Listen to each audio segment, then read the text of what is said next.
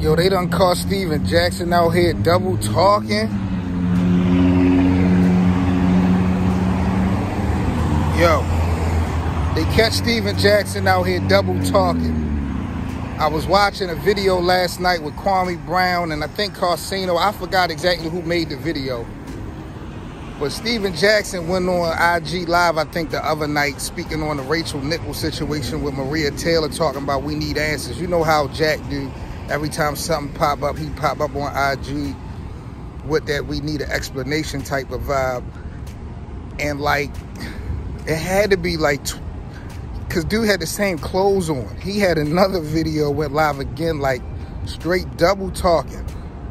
How he support Rachel, how she was hired all these black people when she first started the jump show like a whole bunch of stuff that was irrelevant to what what the situation was with Maria and I'm and you know it was funny because they was you know they were trying to make it seem like I think it was Karceno trying to make it seem like um he got that phone call and I'm just saying the perception alone was so funny that shit had me crying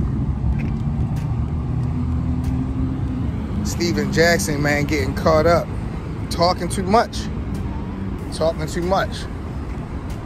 But every time Jack talk, he always want to include himself in it. Like it don't matter what the situation is or the scenario. You go back to any interview, you go back to any show.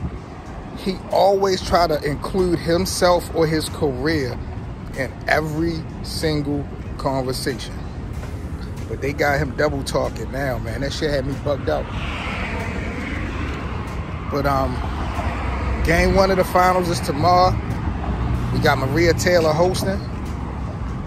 Rachel Nichols, big nose ass ain't gonna be hosting, I don't think.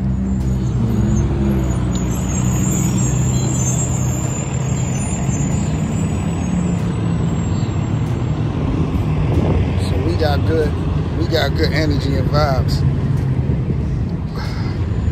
But this the best of seven sports talk, man. Seven Mitchell.